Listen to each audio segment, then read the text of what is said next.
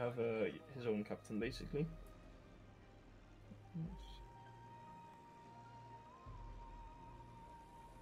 Yeah, mine as well.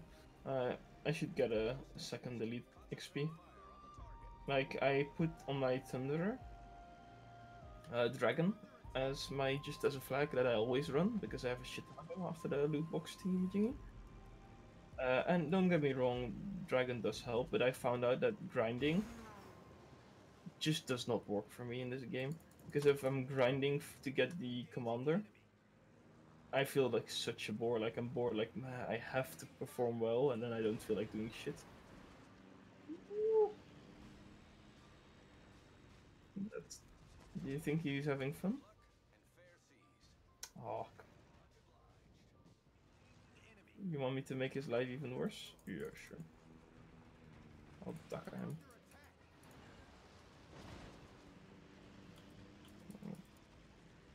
I might steal the kill for you.